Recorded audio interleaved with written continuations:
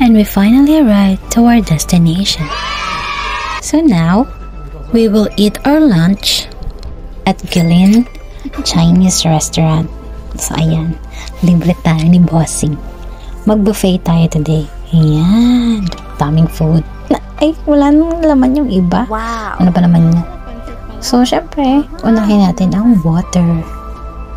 Prepare na natin yung water.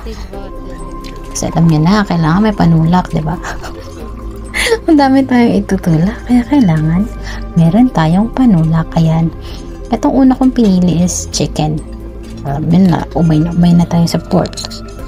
Pero nga, no, madalas din pala kayong chicken. Tapos yung pangalawa, sinubukan ko lang kasi um, feeling ko maanghang. Tapos yung pangatlong pinili ko, yun yung paborito ko dyan. Um, chicken with honey and sesame seed. Wow. Tapos sinubukan ko din yung baby back ribs or spare ribs. Ayan. Tapos kumuha din nga pala ako ng veggie na Shanghai. Ayan. Binalikan ko siya para ma-videohan ko ng mas maayos yung mga food. So, ayan ang lahat ng kinuha ko. A few moments later. Char! Pagkatapos ng apat na balik. Charan! ang dami ko na. So, ayan. Kailangan na natin maglakad. Um, pabalik din sa parking lot. And naisip ko, why not bumili na rin ng panibagong supply. So, eto na. Ayan, 185 per kilo. Yung bangus, gusto ko sana bumili pero no thank you. Ang mahal. 185 times na lang sa 5. Alam niyo na yan.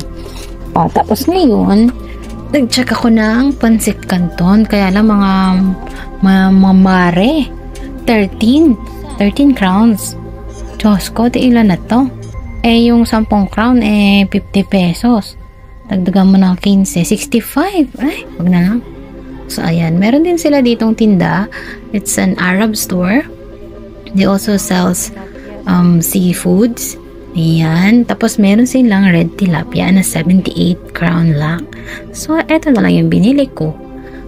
Ayan. Tapos, nag-isip din ako ng iba pang pwede nating iluto in the future. In the future. In the near future. Ayan. Tapos, nakakita din ako ng kasaba. Pero hindi ako bumili niyan. Masyadong mahal. Maharlika. Maharlika ang gulay dito.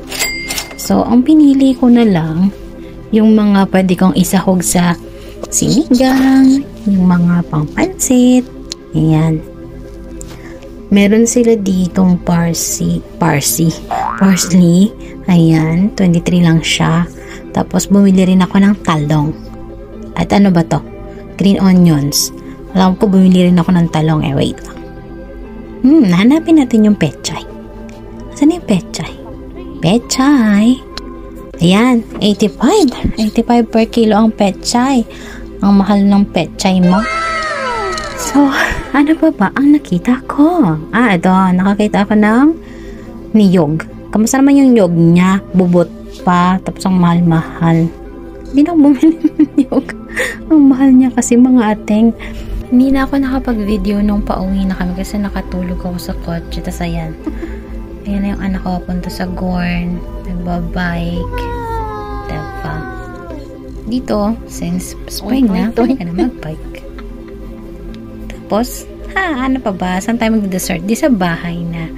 At eto na yung aking avocado ice cream. Sinamahan ko siya ng tiramisu kaya lang itong tiramisu na to may konting alcohol content. And it's a wrap! Thanks for watching! Don't forget to follow me on my other social media accounts. Bye!